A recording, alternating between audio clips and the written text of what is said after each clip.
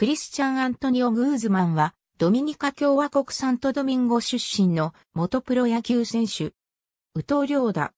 2018年に若干19歳でワシントンナショナルズでメジャーデビューを果たした同じくプロ野球選手のフアン・ソトは、老いにあたる。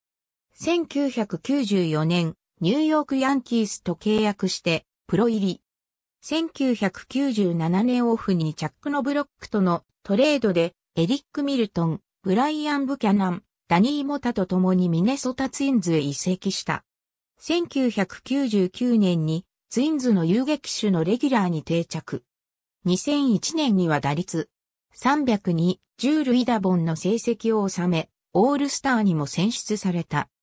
2002年から2004年にかけて、ツインズがアメリカンリーグ中地区を3連覇した時に、チームの中軸として活躍。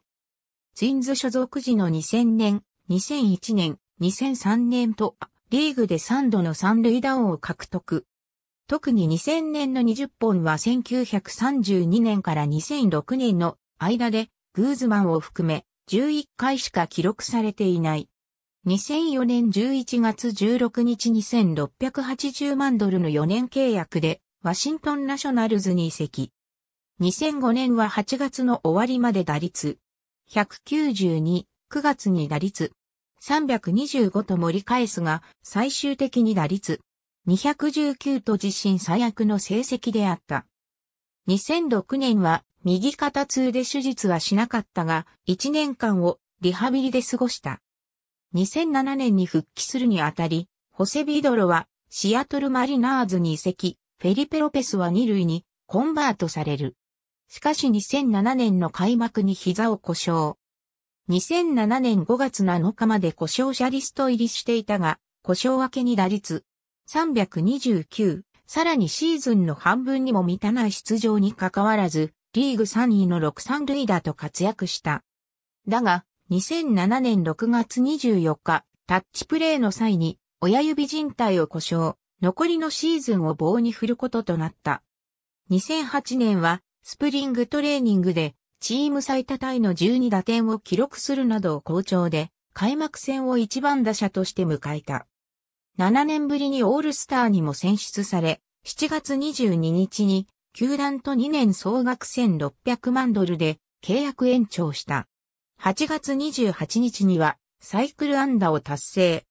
2010年にはイアン・デズモンドに遊撃のポジションを奪われた。2010年7月30日にライアン・タトゥスコとタナー・ロワークとのトレードでテキサス・レンジャーズへ移籍した。レンジャーズは地区優勝を果たしたが、グーズマンは15試合で打率152と結果を出せなかった。2011年はな、リーグのある球団とマイナー契約を結んだと報じられたが、3月5日に家庭の問題により、少なくとも前半戦はプレイしないことを MLB 機構が発表。その後は音沙汰がなく、最終的にシーズン全休となった。2012年2月21日、クリーブランドインディアンズとマイナー契約を結ぶ。しかし、フレッド・ルイスと共に3月28日に自由契約となった。その後、引退する。